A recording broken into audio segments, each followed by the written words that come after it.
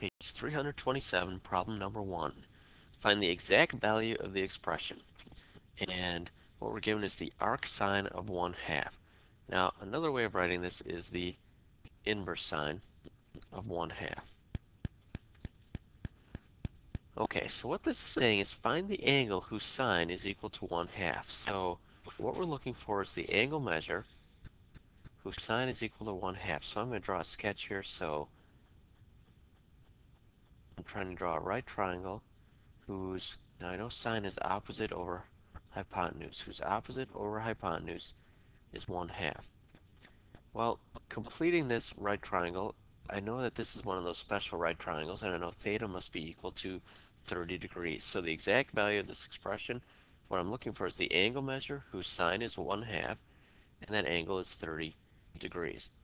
Now this answer could be in degrees or radians. 30 degrees is a sixth of the way to a straight line, so that's equal to pi over 6. Now, careful.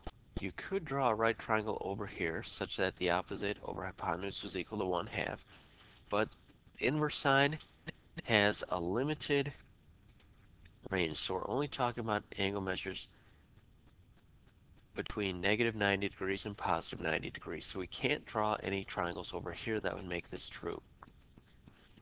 Okay, second problem, arc sine of 0. So this is can also be rewritten as the inverse sine of 0, meaning we want to find the angle whose sine is 0. Well, if we take a look at our original diagram, we want an angle whose opposite over hypotenuse is 0 over, and it can be 0 over anything. So basically, we, want to get this opposite side equal to 0.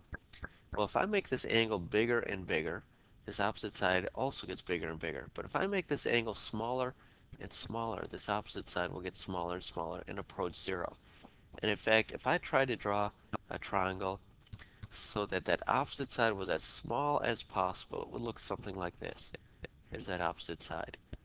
The only way to make that opposite side equal 0 is if this angle here is also equal 0. So that's the angle we're looking for, 0 degrees, which in radians I can just write as 0. So the exact value of each expression we can write in degrees and radians.